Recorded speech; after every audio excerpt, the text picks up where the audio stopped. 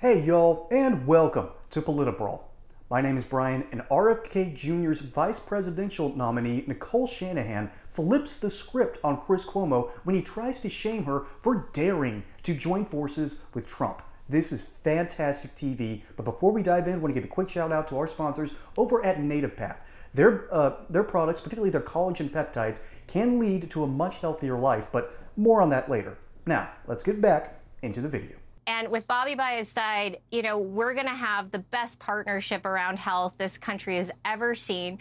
Um, we're going to have a conscience around making sure we don't let Pfizer run our Vaccine Safety Commission. We are going to have objectivity and objective truth at NIH and the CDC. We're not going to have another situation in which Fauci's firing two scientists because they're disagreeing with certain aspects of the, the safety of the mRNA vaccine. I mean, that, that was just wildly inappropriate to fire two top specialists during Operation Warp Speed. And again, you know, I think Trump learned a lot. We're not absorbed into this. We are a coalition, which means that we can be loud and objective and we can present an opposition it. when it is necessary. What guarantee do you have of any power over these issues in the administration? And two, why are you, who's known for being a savvy person, so quick to trust that Donald Trump will deliver on what he says? Well, so to answer your second question first, look, where we are right now is we have taken a year. Bobby's been running for over a year. We have mm across this nation. We have talked to Americans.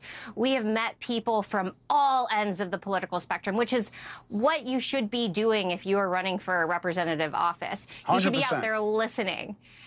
And yep. our job is to bring that voice to whomever is going to be sincere in their reception to hearing the American public where they're hurting, what is going on. I mean, farmers, like farmers are so underrepresented right now. And, and this is why I brought up some of my criticisms of Kamala Harris's food cap economic policy, right? Mm-hmm. Or food price capping. Farmers mm-hmm. are on their knees in this country right now. They are not price gouging. To say that our farmers are price gouging when they are already on their knees, who mm. can I take that message to today? You tell yeah, me, Chris, criticism. who's going to listen that's to me? Because I have taken this message for years to the Democratic Party, and I cannot get through to anybody. It's not like this has mm. happened overnight. I didn't wake up one yeah. morning and say, what a great idea it would be to leave the Democratic Party. No, I tried everything everything in my capability to get through to someone who would listen and hear this actual science, to hear mm-hmm. the people on the ground, to listen to American voices. And we've got to judge people by their reactions. We got to judge people by the people around them. And right now, mm. Trump has some really good people around him, and he's willing, he's, he's more than willing to listen. He wants to listen, understand, verify, and then say, all right, who's going to help me get this done? And Bobby has been right up there next to him, being like, I will get this done with you. Y'all, this is absolutely fascinating to me. Uh, a normal reaction would be, wow, this is wild, but no the inner political science geek in me has noticed this very interesting trend. And I, I wrote something down. I was going to give you a prop, but it's hard to see. Uh, I, it's a simple drawing on paper, so I'm simply going to describe it. There's been some, there's something in American politics that I call the Great Rift. Most Americans are in this Great Rift, and if you were looking at a political compass, it would be basically center center. All right, maybe a little bit authoritarian, maybe a little bit more libertarian, leans a little left one day, leans a little bit right to the others.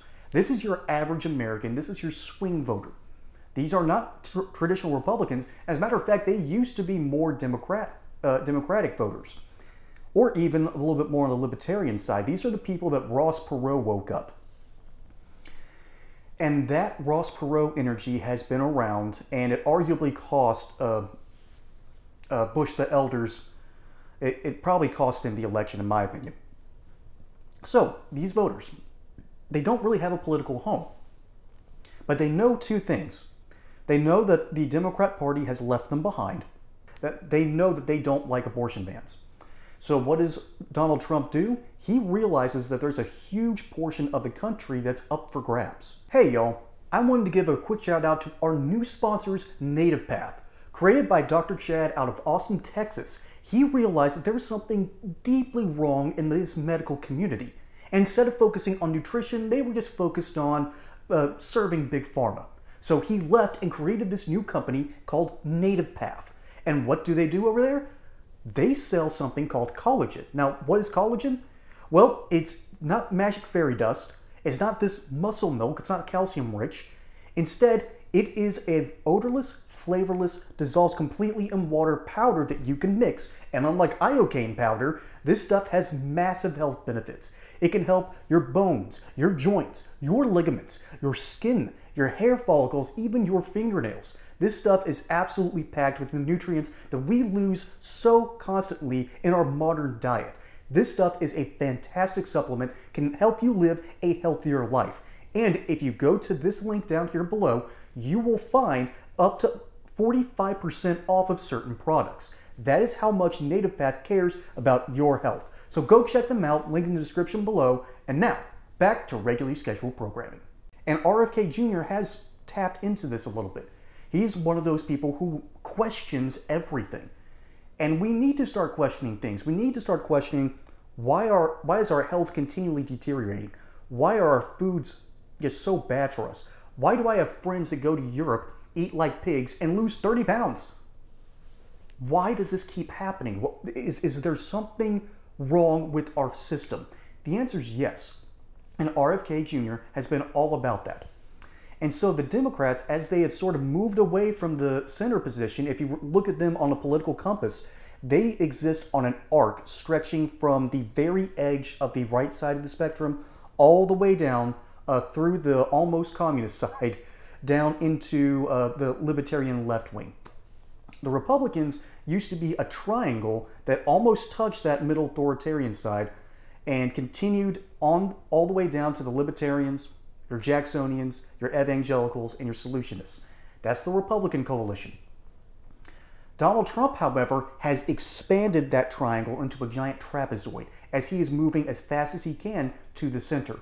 Imagine, if you will, uh, a race, and that's why we call these that's why we call these elections races. This is a race, and it's a race to capture certain points. This isn't just a race in the traditional sense where you have the starting gun and you cross the finish line. No, no, no. This is a campaign. This is Patton swinging around and cutting off the Germans in France.